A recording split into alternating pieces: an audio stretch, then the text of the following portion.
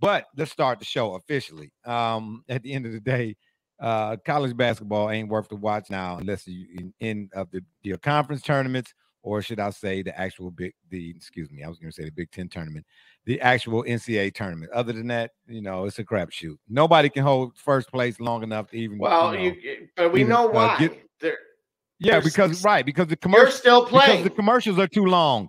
No, you're still playing. There are people your age out there on rosters, graduate transfers, COVID years. I mean, it is really, you know. I mean, this- well, I this is the mean. I, I mean, I don't have a problem with a guy getting a free education.